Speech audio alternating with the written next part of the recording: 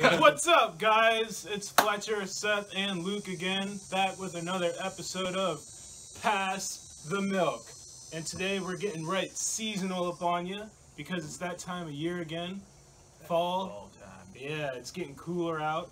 Everybody's grabbing their hoodies and their flannels. You know why we their call boots. it fall, though, right? Because of the Why leaves. Leaf fall down. Yeah. Mm-hmm, mm-hmm. That, And then that's spring, true. then spring back up. And then you step on them and they got that crunch. Good crunch. Yeah. Very, mm. like, one of those oddly satisfying things. Indubitably. now, but is it fall or autumn? Whoa. Yeah. Okay. Big controversy. Yeah. Depends on what I'm saying. Yeah. Who are you talking to?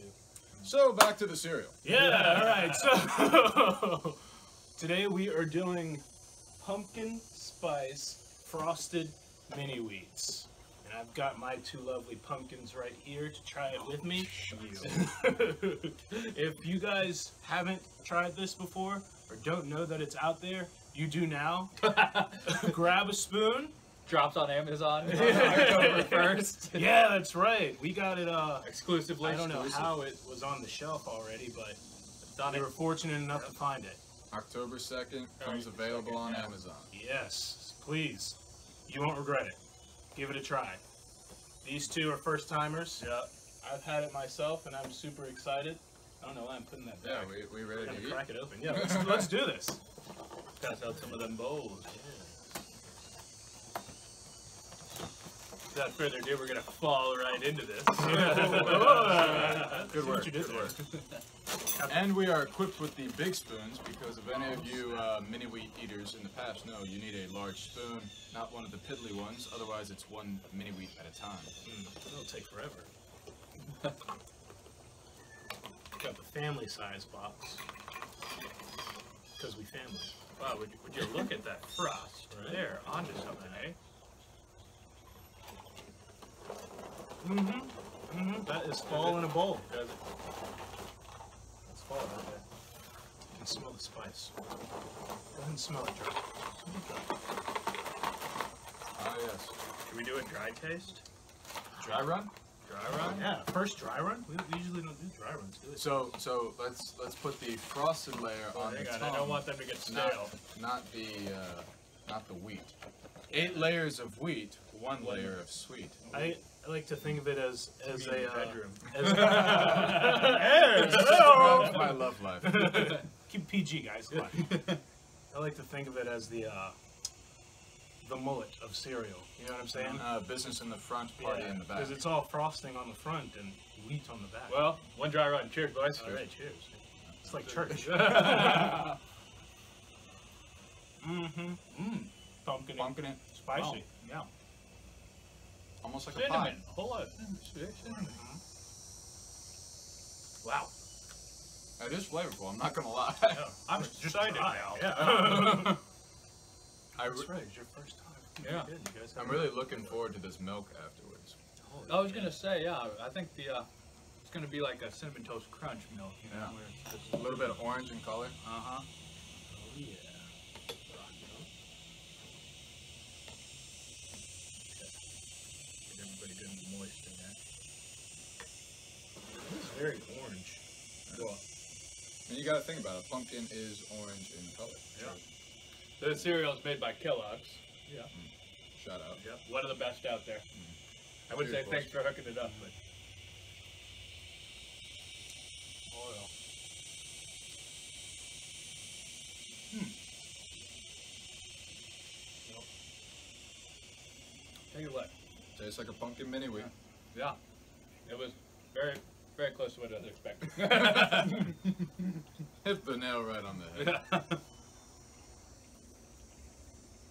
do Although- like the spongy effect of the mini wheat.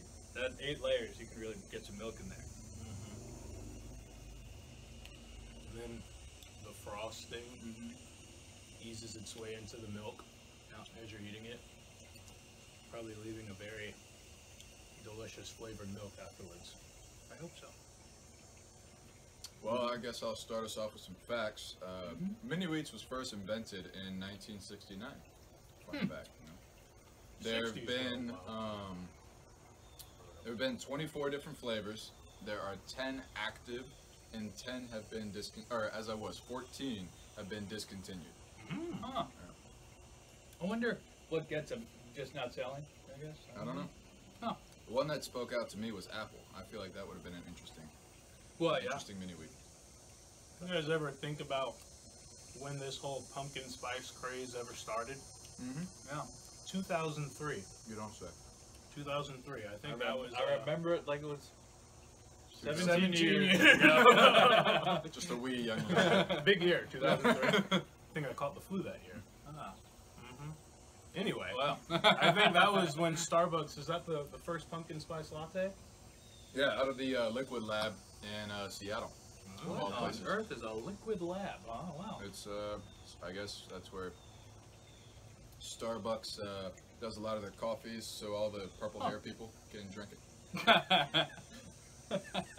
Shout out to VCU. Blue versus- Artsy. well, well, Mini Wheat's tagline is uh, keeps them full, keeps them focused. So you Mhm. boys getting focused off this? I'm pretty focused. It's Yeah. game day. Focus on this bowl. Yeah, there you go. I'm feeling focused. I'm You, ready. guys, you remember that commercial with the little mini wheat guy going to school with the kid? Mm-hmm. I used to love that commercial. He was like in their backpack. It would Yeah. jump in the bowl. yeah. I'm like, I wish I had a friend like that go to school with me. Yikes. It's okay. Need to talk. If you need to talk, go to Seattle. well, the um, the first batch of pumpkin spice mini wheats hit the shelves in the fall of 2015. Sounds about right. Yep. So they're kind of new to the scene. Yeah. Only five years. You know? And they're seasonal, so you can only get them Fifth season. certain times. But um, it's funny, we call them mini wheats, but in the UK they call them mini max. Mini Mini Max. Max. Mm-hmm. Mini Max. Mini Max makes me think of Mad Max or something. Can you with pass mini. the Mini Max? And then in other some other European countries they just call them tapas. Hmm. Not makes- to be confused with the appetizer. exactly, yeah. Or a Topaz. You know, Which I don't know how. It's definitely not that. Wrong.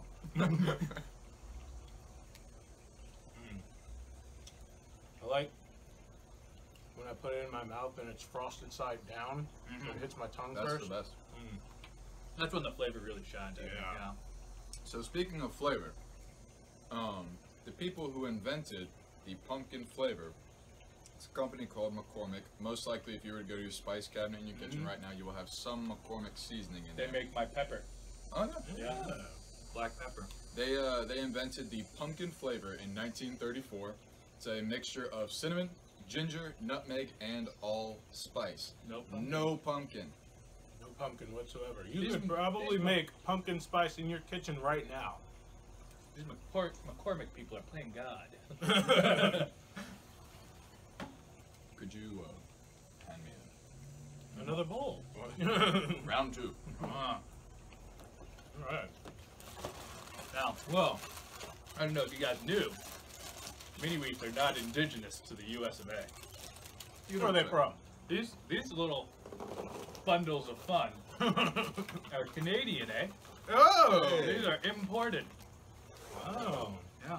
Straight from Canada. Ontario, I believe. Well, I'll tell you what. They made up for it with these after grenading those terrible geese. Mm-hmm. Yeah. Assholes. Those geese.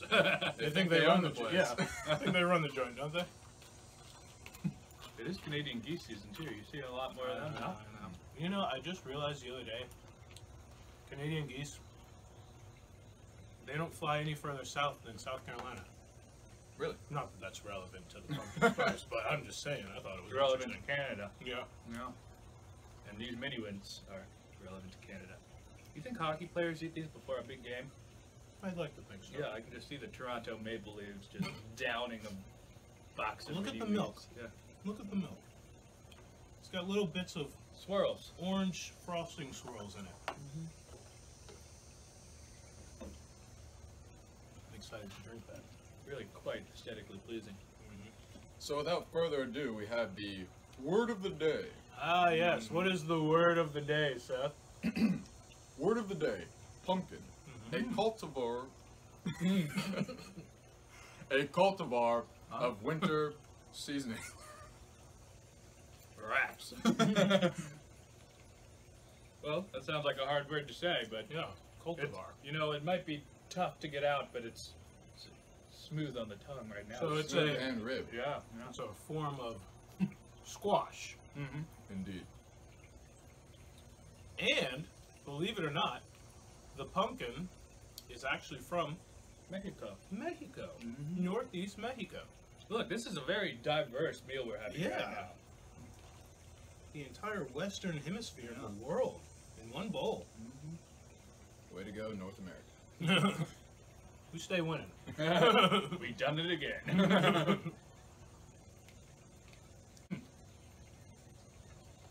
Well, what do you guys think? oh, I like it. Texture, You know, mouthfeel. the texture of it is nice because it kind of unravels just a little bit, but not too much. Right. Like I was saying, the, the milk gets between the weaves. Mhm. All eight layers are. Creates that soft, spongy Uh-huh. kind of feel. If SpongeBob was covered in pumpkin spice, I think it'd be similar to this. Don't do that to SpongeBob. That was a. Too far. I'm gonna go uh, seven for texture. Seven volts.